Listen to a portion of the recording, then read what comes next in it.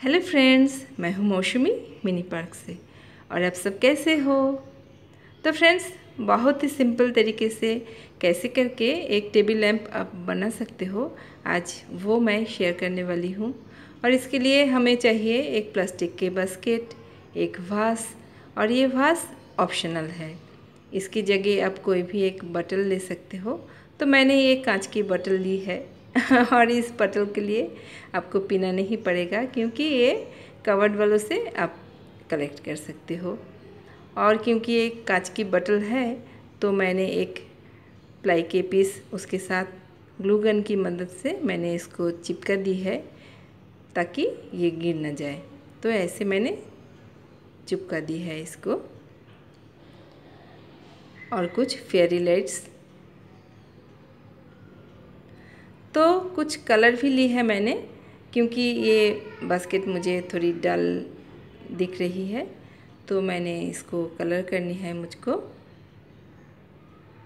तो एक flat brush की मदद से मैं धीरे धीरे कलर करूँगी।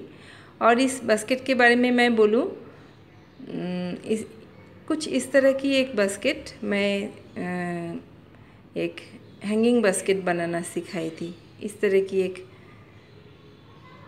बास्केट की मदद से। तो वो बास्केट आप लोगों ने बहुत पसंद की हो और बहुत सारे फ्रेंड्स मुझे उस बास्केट के बारे में पूछताछ की है कि वो लोग वो कलेक्ट करना चाहते हैं लेकिन मिल नहीं रहे। तो मुझे जानकर बहुत ही दुख हुआ कि आप कलेक्ट नहीं कर पाए हो वो बास्केट और वो वाला बास्केट टेन रुपए के थे। और इस वाली जो बास्केट मैं थर्टी रुपए में ख़रीदी है। और इसके बाद मैं ब्लू कलर के बाद येलो कलर कर रही हूँ। और जब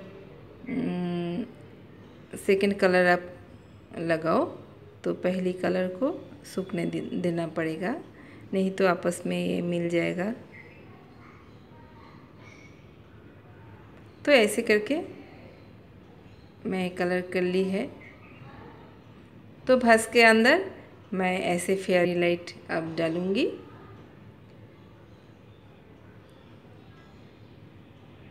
और उसके बाद ये प्लास्टिक के बास्केट। और फिर ऐसी मैजिक। तो कुछ ऐसे दिख रहे हैं और बटल से कुछ ऐसा।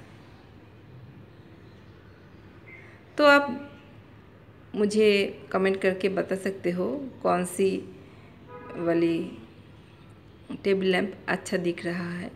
मुझे तो ये वाला बहुत अच्छा लग रहा है। तो आप भी इसको ट्राई कर लो और इसकी खूबसूरती का मज़ा लो। तो फ्रेंड्स आज के लिए बस इतना ही। अगर मेरी वीडियो को आपने पसंद किया हो तो लाइक कीजिएगा कमेंट्स कीजिएगा और मेरे चैनल को पहली बार देख रहे हो तो सब्सक्राइब भी कीजिएगा। तो फिर से मिलते हैं नई वीडियो के साथ। तब तक के लिए टाटा बाय